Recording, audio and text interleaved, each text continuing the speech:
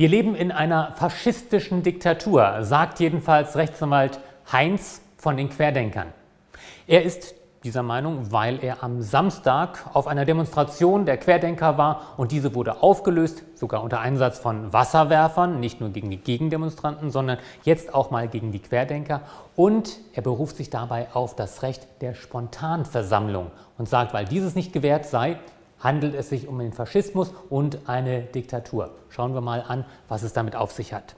Also tatsächlich gibt es das Grundrecht der Versammlung und dafür braucht man auch keine Genehmigung. Eine Versammlung muss lediglich angemeldet werden und zwar 48 Stunden vorher.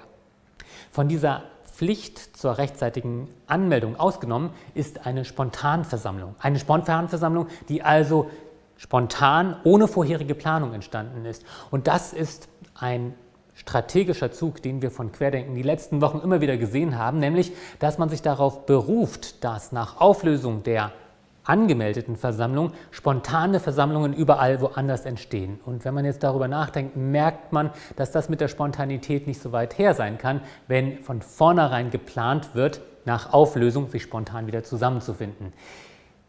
Ich glaube, Rechtsanwalt Heinz ist der Auffassung, dass der Rechtsstaat nicht so besonders helle ist. Dass also man mit Winkeladvokatentricks die Versammlungsfreiheit für sich in Anspruch nehmen kann. Denn selbstverständlich kann man nicht von vornherein planen, wir machen eine angemeldete Demonstration und danach eine spontane Demonstration. Wenn man das vorher geplant hat, ist es halt nicht mehr spontan und deswegen ist das wieder die nächste Episode von Quatsch Jura.